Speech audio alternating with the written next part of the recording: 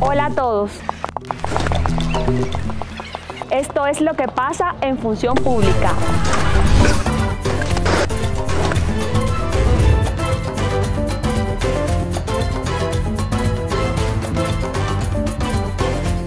Uno.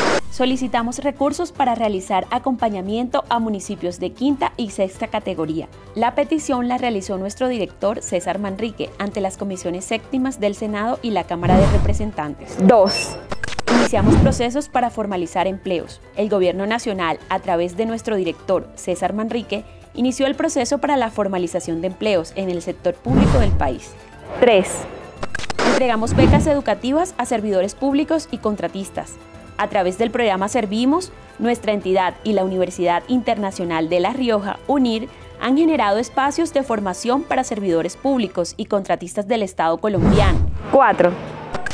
Realizamos la Semana de la Salud, Seguridad, Trabajo y Bienestar. El evento se llevó a cabo del 26 al 30 de septiembre, una semana lúdica donde los asistentes pudieron participar de actividades de emprendimiento, salud y bienestar.